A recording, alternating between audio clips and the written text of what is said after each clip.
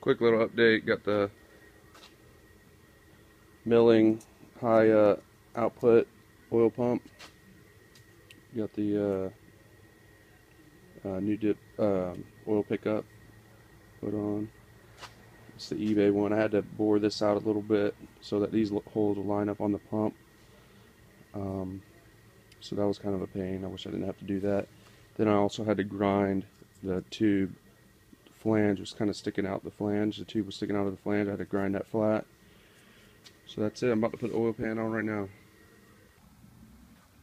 Alright guys, got the oil pan on.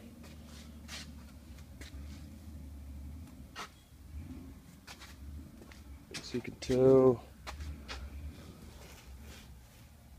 painted these um, spacers, washers, whatever you want to call them. Painted those, painted the bolts. It's like a charcoal gray. It's kind of hard to tell in the video. I just in like the rusty black color. Um, kind of matches the the block. Wasn't really happy with the bolts, um, the bolt holes for the pan, but they worked. They lined up. They're kind of crooked, kind of off a little bit, but ended up working out pretty well. That's it. We'll flip the uh, engine over.